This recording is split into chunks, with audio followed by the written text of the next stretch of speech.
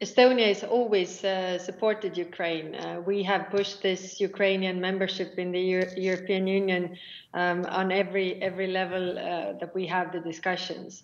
Um, definitely, when we were joining NATO, uh, we were also joining the European Union, and it was a two-track two-track approach really. Uh, when when one door was closing, the other one was opening. Therefore, I think um, Ukraine is having this fight. Uh, Ukraine is uh, fighting for Europe right now, quite literally. Uh, therefore, I think we should also uh, give them a European perspective.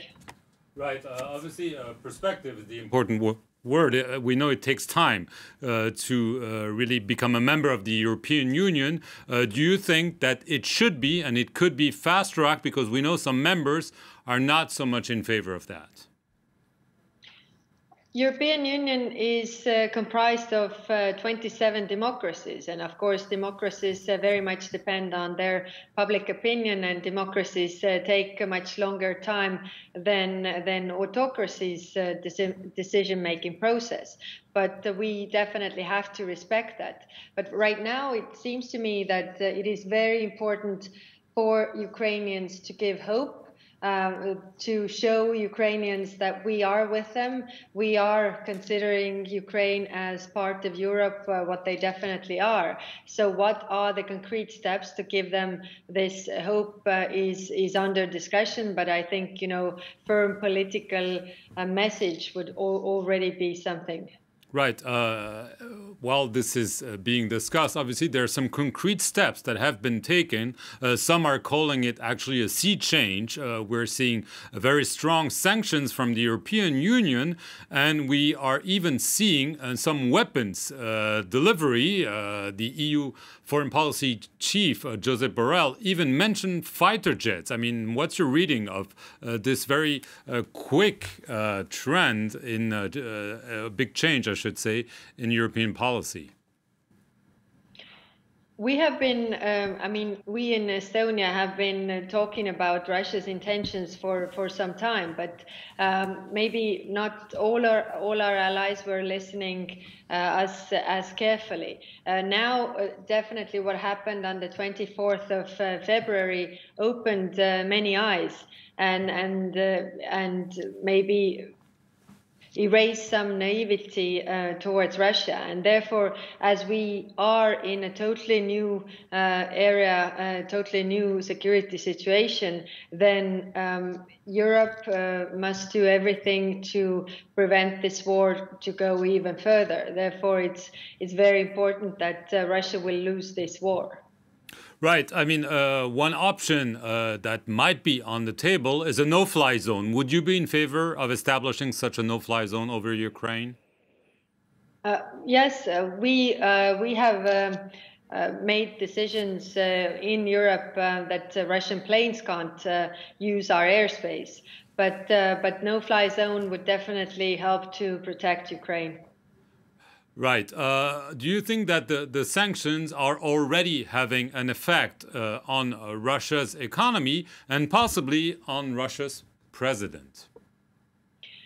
Well, if you look at uh, the currency rate of ruble, uh, then it has dropped uh, considerably, and and definitely it has an effect. If you look at the, you know, the um, this uh, pictures that we get from from Russia regarding the bank run and and everything, um, it is having an effect um, on their economy definitely, and and also some of the people, also oligarchs speaking out uh, against the war, um, could have an effect on on Putin's uh, thinking or or his uh, people around him.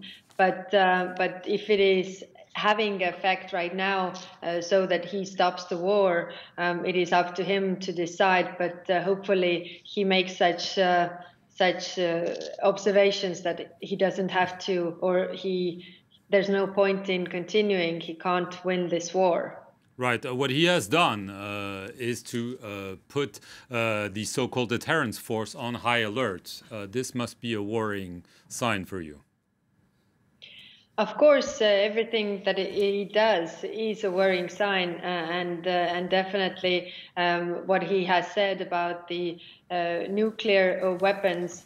I think uh, this this statement is directed to the public opinion of you know the Western allies to scare scare them off of making additional steps. But I think we shouldn't be scared.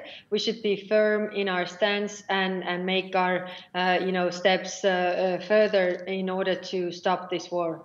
Right. Uh, are you uh, afraid of potential Russian ac actions. We know uh, several countries, including France, have sent military reinforcement to your country and all other Baltic uh, states. Uh, are you calling on NATO to send even more military uh, means to Estonia and its neighbors?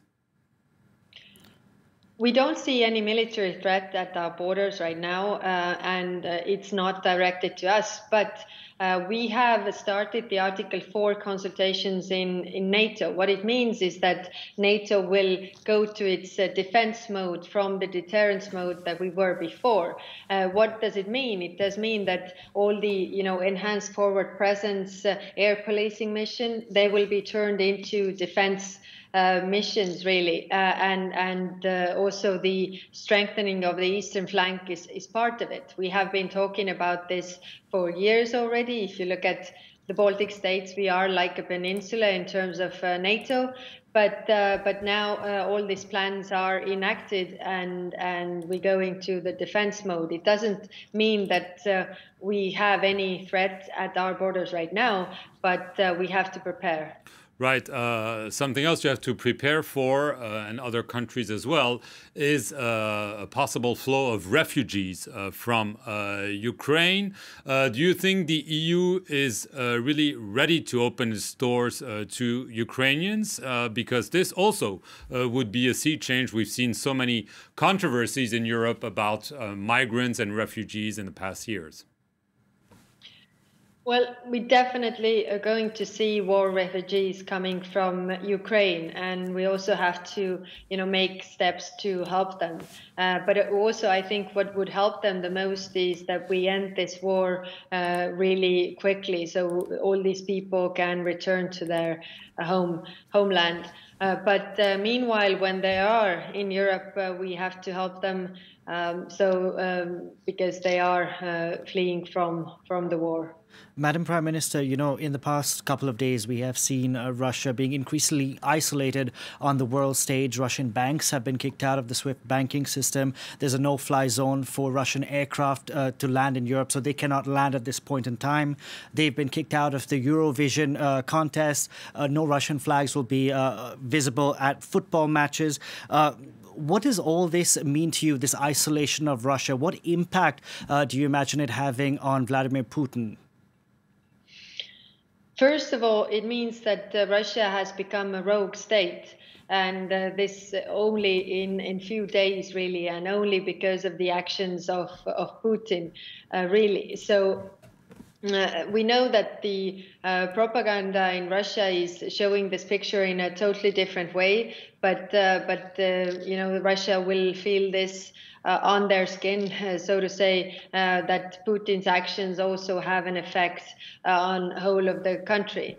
so, so meaning that all these people that really represent the country, um, you know, get the signal that uh, that Russia is a rogue state due to the aggression that they have started against Ukraine. You know, earlier today I interviewed uh, Finland's former Prime Minister Alexander Stubb, and he told me the problem we have in the West is we don't know which way Vladimir Putin will be influenced. Do you share that assessment? Mm, we uh, we know that uh, with all the autocrats, um, you know, they they isolate themselves uh, from from other people, and and you know the circle gets smaller and smaller of whom they really uh, listen to, and and also we know that uh, that not only information goes through to him, so maybe he doesn't see um, the whole big picture, what is really happening, how Russia's uh, armed forces are really doing in Ukraine, not so good. Um, um, as as they were hoping for, I guess. So so uh, you know nobody sees uh, into his head, but uh, but clearly he's having this uh, very clear mind about Ukraine and, and it not uh, being a sovereign state. Um, his will is to destroy Ukraine, and we have to stand up against this. Uh, last question, Mrs. Prime Minister. Uh, NATO was declared by the French president kind of brain dead uh, uh just a few months ago. Uh, do you think that Vladimir Putin has, in a way, revived and reunited NATO like no one else could have done? You could say so that uh, that look at the positive side on NATO's or even European Union. It is definitely the unity that we have achieved from this. That we are, uh, you know, very unified and and strong together, which is uh, very important to us as well. And what comes to NATO, uh, you know, the discussions that we see within NATO are exactly as we thought uh, these discussions uh, should be regarding NATO. We are talking about defense plans. We are talking about, you know, uh, uh, strengthening, um, you know, NATO and defense and deterrence posture. this is definitely something that is NATO's substance because it's it's a defensive alliance. So clearly, um, it, it is a positive. It has positive effect on on NATO's unity.